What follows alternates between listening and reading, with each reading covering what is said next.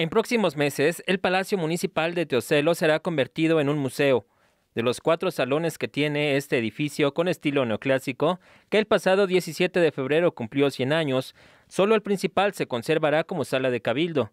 Los funcionarios municipales despacharán en un edificio vecino, anunció el presidente municipal Isaac Anel Reyes. Pues uno lo vamos a destinar para sala de cabildos y los otros tres los vamos a destinar para exposición.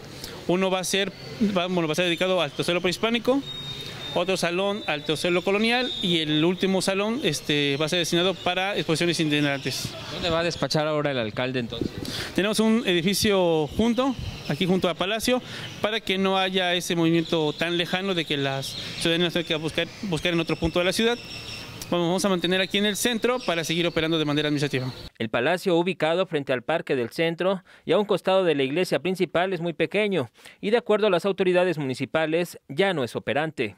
Vamos a tratar de este, concentrar en un solo edificio para que de esa forma ese edificio histórico y artístico pueda ser destinado para museo y que de igual forma se vuelva un atractivo visual para todos los visitantes.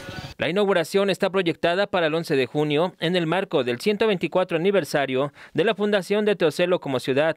Se invita a la población de este municipio que cuenta con alguna pieza arqueológica a que la done para que se exhiba en este nuevo museo histórico de la tierra del dios tigre. Héctor Juans, RTV, más noticias.